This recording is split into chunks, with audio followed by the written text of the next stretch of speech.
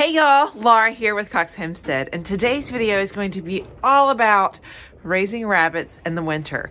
And we have a lot of experience this week with raising rabbits in the snow and freezing temperatures in particular.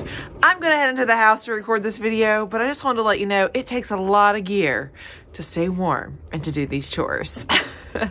I have on um, a nice jean jacket with a Sherpa lining, a scarf, something to cover my ears. Really, I could have used my face mask today. I didn't grab it. I should have. And I have big, huge, thick Carhartt gloves.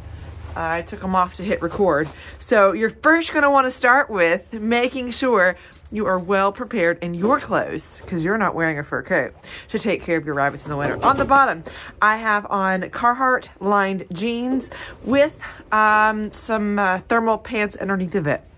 I also have Carhartt overalls. No, I am not sponsored by Wrangler or Carhartt. Just telling you the brands that I have. Um, the I've been just using my jeans this week because it's been easier for me to get them on and off and get out the door. Not as cumbersome because I'm out here for 30 minutes or less most of the time. So first of all, if you're planning to raise rabbits outside, anywhere that gets temperatures that are cold, make sure you have the right gear. I'm going to head back to the house, record all about all the other details in my nice, warm, comfy, heated home. God is good, y'all. Our heat has worked all week. So I'm going to go back in there and tell you some more.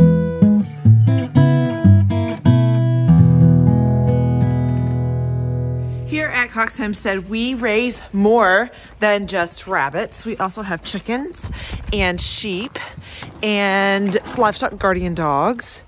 And we have worms, um, which could be talked about because it's winter. And do your worms live through the winter? Um, and we have gardens and um, all sorts of different activities that come and go here on the homestead. Uh, but I- I'm not going to go over all that today. I'm just going to focus on the rabbits in particular. I do have some eggs out here for a midday check because along with giving some water to rabbits that need it, I also got to check for those eggs. So um, today in particular, I am focusing on rabbits. We do raise everything regenerative agriculture style, meaning all of our animals are being moved very frequently and the snow has made that a challenge for my rabbits. I'll be telling you about how we handled that today. I am back inside in the warm and I was able to set up my camera where you can see the snow behind me still, just to add to this whole wintry feel of this video.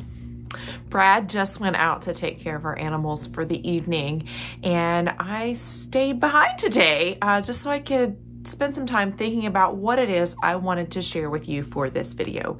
We have rabbits in three different locations. We have some in our barn, which you see featured in all of my videos with the barn quilt on the on the front of it. We have hanging cages in there. All the, all of all of the housing in there is metal cages and they are up off the ground with poop falling underneath and we collect it and that sort of thing. But in the barn, all of the rabbits in there have heated waterers. We purchased these at Rural King and when we first started getting them, I think they were $20 a piece and now they are about $22 a piece.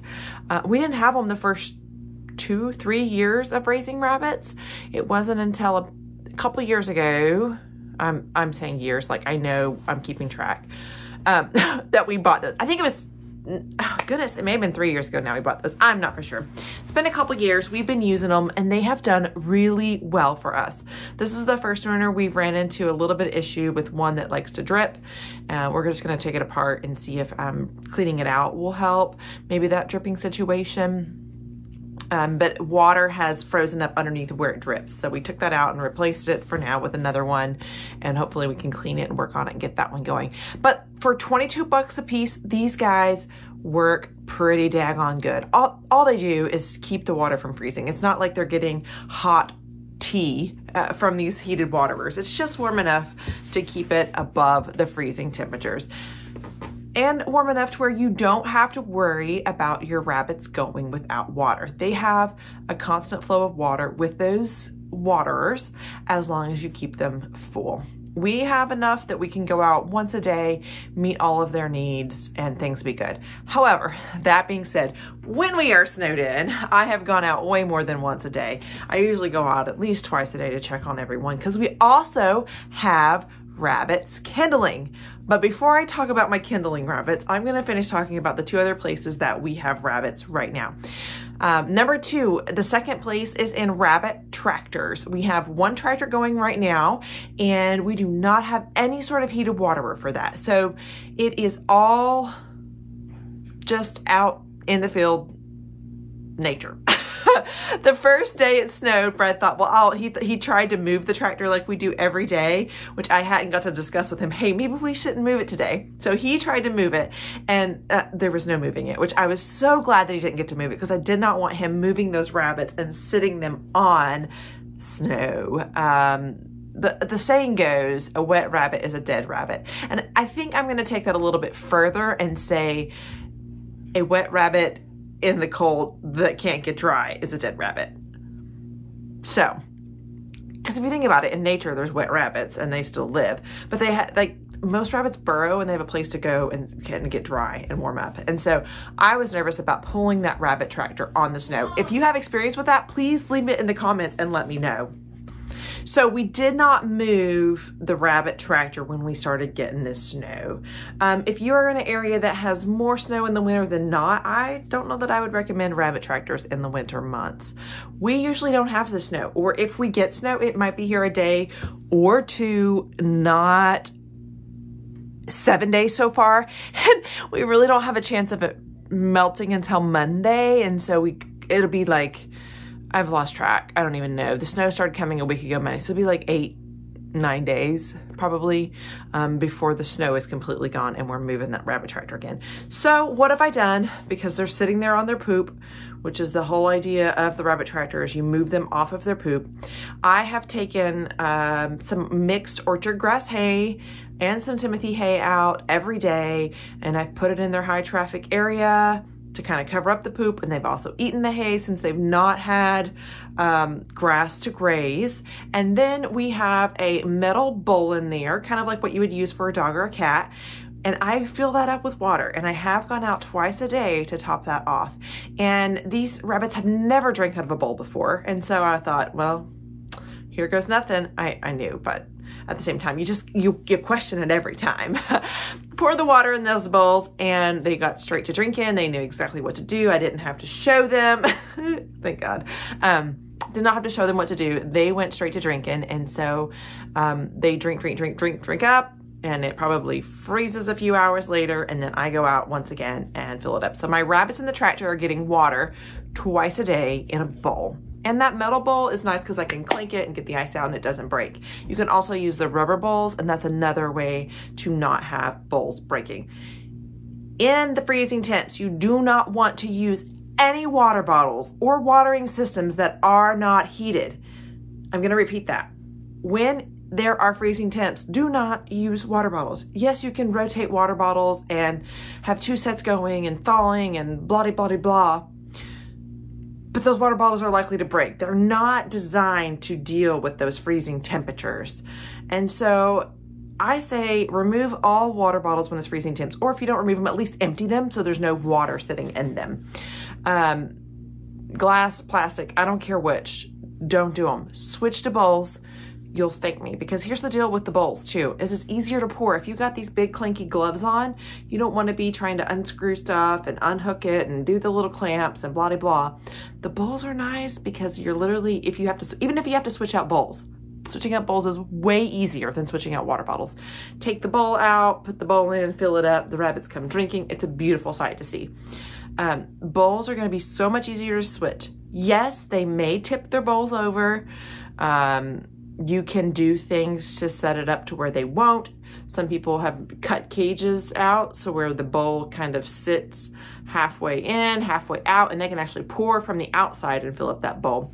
That works really well with your flat plastic um, Tupperware type containers. I mostly just have glass and crock bowls and for the most part they stay upright. That's with a single or two rabbits. If you have a whole litter, um, you're going to run into them spilling it more. They also make um, rabbit bowls that hook onto the cage. Those would be an excellent option. Um, just anything that makes it easy to dump out ice and not have to worry about it breaking um, like you do with the water bottles. Um, I use bowls from the tractor and then I have one more setup of rabbits and that's our newest setup where our French lop is and then we have some grow outs in there as well. And it's under our back deck and there are water bottles that we normally use. We could purchase heated water bottles for it and run a cord down across and use that, but we haven't yet. Um, we're we gotta we have we have to. There's processes in my rabbitry, and my rabbits have to be able to pay for themselves a water bottle. And so once we've had this cage up long enough, and I have paid off this cage from rabbit sales, whether that be manure, workshops, classes, whatever, and then I have some some profit setting in the bank, I can then purchase them some water bottles, and so I won't have to worry about that with them. But they're on the bowl system too, and they have um, a tarp around three sides, and then there's a canvas crossing uh, the front where my French lop is, because he is my special friend. I have just done a little experiment with the other ones,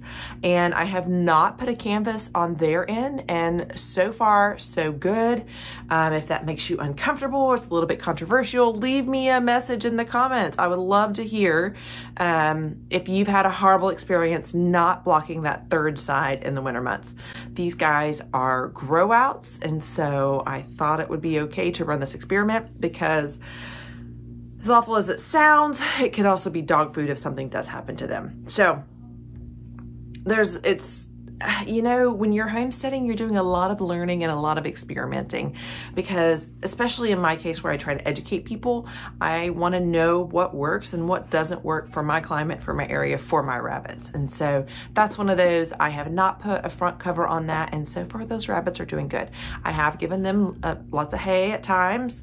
Um, they just eat it and play with it and they don't make a nest, I've noticed. So they seem to be doing well with it. We have gotten down to like negative one, negative two two here. Not normal. I think um, the cold days we've had like highs in the teens. Um, like today, I think it was like a high 19 out there. It's pretty cold and chilly. So, um, so far they're doing well. They seem happy to see me when I go out with the water bowls. So I'm content with that method so far this winter. So we have the rabbits in those three locations, the barn where majority of our rabbits are all on those heated waterers. We have the tractor where I'm taking water out twice a day. And we have the cage where I'm taking water out twice a day. Three bowls to fill up, no big deal. I'm okay with that. We're also doing the chickens because our chicken water are broke and I'm doing the dogs, which again, still not that big of a deal because I like to go out, check on my animals, make sure everybody's doing well. If you are having to work in the midst of this, you definitely want to invest in the heated water so you're not having to make those multiple trips out there. So kindling in these cold temps. What in the world? Well, I can't plan when it's going to snow. I can't plan when we're going to have these freezing temps. It never fails in nature. If you are breeding any sort of animals, they're going to have their babies when it's the coldest. um, it just, it, it, I mean, it just seems to be the way the cookie crumbles. And so then you find out how hardy your rabbits or your animals are or how good your shelter is that you have set up for them. So we continue breeding as normal through the winter and it just falls where it falls. And this week we have uh, four rabbits due. I have um, Dottie, who is my a polyface rabbit. She has kindled. I think there's eight in there, seven or eight. I haven't pulled them out with these cold temps. My fingers are cold when I go out there. I really don't like handling much, so I just stick my hand in, feel around for any expired kits to remove. So far, I have not felt any. And um, when it warms up this next week, I'll go and actually check those kits. So far, so good. She did not pull a ton of fur, which made me nervous, but there was some fur left over from her last kindling that I was able to put in there with them. And so far, I think they're doing great. Um, next up, I have Jade Dew. She is my Harlequin doe. She pulled hair as soon as I put that box in there, and it is looking nice and ready to go for when the time comes. I have not done any extra wrapping of the cages or anything like that. They are just in my barn with nest boxes. Um, some people use a kindling tote where they put um, a bigger contraption either inside their cage or attached to their cage, or they create a separate all closed in area so that the kids get out of the box or at least in an enclosed area. Um, we just check the wire to see if kits get out. And seasoned moms do pretty well. Some people do not breed for the first time. moms for the first time does during these winter months. They don't want it to be that hard on them. I go ahead and do it. I say, well, let's see how they do. Um, that can be a, a, philosophy you follow, or you can create your own, however you want to look at it. I say, get them started as soon as possible and roll with it. If you would rather wait till spring, totally fine. Up to you, your choice. Um, so we have the next one up is Newbie, and this is her name is Newbie because I couldn't think of anything else, and she was a newest, newest rabbit I had back at my rabbitry. She was one that I had sold, and the people decided that they didn't want to due rabbits anymore, so they brought her back, and I could not remember the name they gave her. So if you're watching this and that's you, uh, I'm sorry, but uh, I just called her Newbie. Newbies do tomorrow.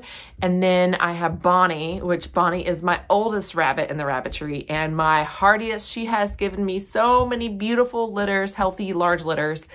Her rabbits are never my largest, but she has been faithful and very good at kindling. So I'm hoping to keep a doe from her um, just to pass on those really hardy genes in my rabbitry. Um, let's see here. I know Jade that's due. She was bred with my French Lop Buck, which you have seen him in a video, a couple videos back, um, where I'm trying to see what I can get when I cross a French Lop with a standard meat rabbit. And so there's different views on that. Some say it doesn't do as well. I'm gonna try it out for myself. And if nothing else, it's gonna hopefully make for some cute babies to enjoy this Easter season and some delicious meat from my freezer. So, um, that we have the kindling happening, we have the water happening. Let me see here. What else might questions might you have about rabbits in the winter? As I am laying here editing this, I got to thinking I get more nervous when I have kits that are about 10 days old and wanting to think about getting out of the box 10 to 14 to almost like 10, 10, days to three weeks essentially. If one gets out and they're not surrounded by more, that's when you run the bigger risk of them freezing. So kindling during this time doesn't stress me as much as when they're up and moving around. So just, I just want to add that here. Food, food goes as normal. If you want to, you can always put a little extra in there for them. Um, food and hay. And uh, I also bring out the black oil sunflower seeds this time of year to help give them a little extra fat and calorie content to help them get through these cold temperatures. That's about all I can think of that we're doing extra this winter. We're not moving the rabbit tractor on the snow. We're having to take some water to a few of our animals and we're just living on a prayer, seeing what can happen. I encourage you to do the same with your rabbitry as far as just try loving your animals the best you can and seeing how they fare and keeping those that fare the best because that's the the beauty of um, raising animals is you want to keep the hardiest stock on your homestead if you have any more questions and think of things that I did not think of, please leave them below. And I look forward to chatting with you again soon. Until next time, eat more rabbit.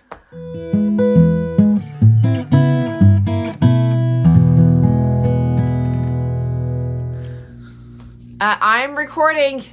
I want to show you something. When I'm done recording, you can.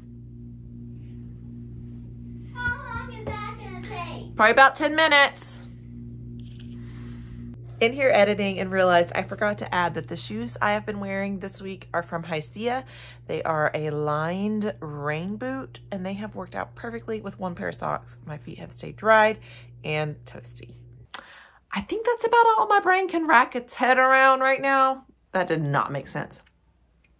Let's try that again.